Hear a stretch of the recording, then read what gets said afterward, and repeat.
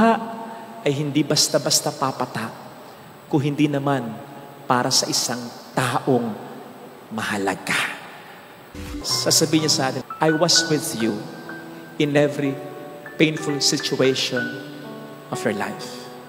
Kasama mo ako sa pag-iyak mo. Naiintindihan ko mga luha mo. Pinapahalagahan ko ito. Alam ko ang dahilan at gumawa ako ng paraan. O tahan na. Tama na pagluha. Nasa langit ka na. Sapagkat dito wala ng kamatayan, wala ng sakit, wala ng dalamhati, wala ng pag-iyak, wala ng pagdurusa. Sapagkat ang mga dating bagay ay bago na. Walang pumatak na luha mo na aking sinayang. Kasi darating at darating, naluluha tayo. Masasaktan tayo, mahirapan tayo. Napakaganda ng sinasabi sa Psalm 56 verse 8. Sabi doon, sabi ni David, habang siya'y naghihirap, habang siya'y maraming problema, You keep track of all my sorrows. Sinusubaybayan mo, alam mo ang paghihirap ko, and you keep my tears in your bottle. Nilalagay mo ang mga luha ko sa botelyang hawak mo. Kung i-interpret natin itong literal, sige nga, why do we keep things? Ano yung tinatago natin? Di ba usually yung mga bagay na sa atin ay mahalaga? Kaya yung luha mo, yung luha ko. He keeps these tears in His bottle. Minamahalaga ng ating Panginoon sa Kristo. These are like dog tags ng mga sundalong inaalis kapag ang sundalo'y namatay sa gera. Sapagkat mahalaga yung dog tags na yon, inasmuch ang sundalo ay namatay dahil sa pagmamahal niya sa bayan niya. Ang luha ay hindi basta-basta papatak, kung hindi naman para sa isang taong mahalaga. Kaya, ang maganda ditong makita natin, ano? That God is very much aware of what we are going through. Hindi siya katulad ng iba nating mga kahit close na kaibigan na kinakailangan mo pang i-explain sa kanya kung bakit ka umiiyak. Kasi the moment na pumatak ang luha mo dahil nagmamahal ka at nasaktan ka para sa minamahal mo, yung mga luhang yan ay para bang magkukorteng mga letra na at bubuo ng mga salita, mababasa na niya ang dahilan ng iyong mga pagluha. After all, ganun din naman, sabi nga ng kasabihang, ang hindi natin mabanggit sa pamamagitan ng salita dahil ikaw ay bigat na bigat na, siguradong babanggitin mo sa pamamagitan ng mga luhang papatak mula sa mga mata mo. And God values that. Hindi siya katulad ng iba na hindi ka mag-explain kung bakit ka umiiyak, hindi ka pipilitin. O yung umiiyak ka man, sasabihin mo sa kanya dahil kasi ganito, ah, ganun ba? Hanggang doon lang. Parang nakichismis lang. Hindi ganun ang Diyos. Gagawa siya ng paraan para sa luha na yan. Ikaw ba? Para sa taong tunay na minamahal mo? Lalong-lalo na para sa anak mo. Wala kang gagawin? Kung alam mong mahalaga ang niluluha nito, ang Diyos pa kaya? Ang manahimik na lang sa ating mga pagluha.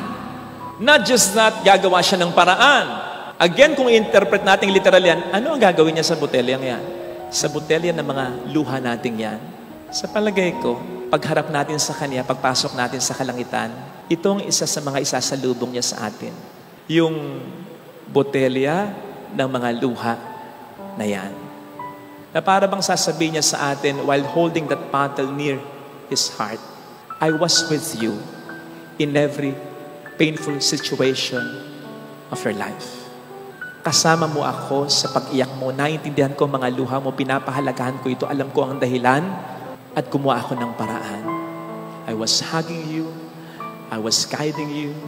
I was leading you. I was healing you. I was with you. Ngayon, ito na ang botelya ng mga luha mo.